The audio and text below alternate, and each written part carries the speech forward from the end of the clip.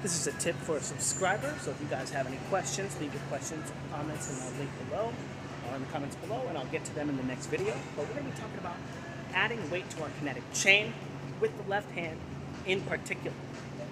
Now, bag swinging. I want my weight moving into the bag,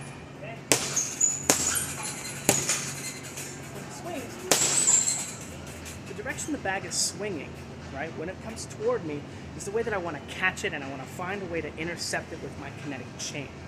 I don't just want to punch the bag as it's moving around.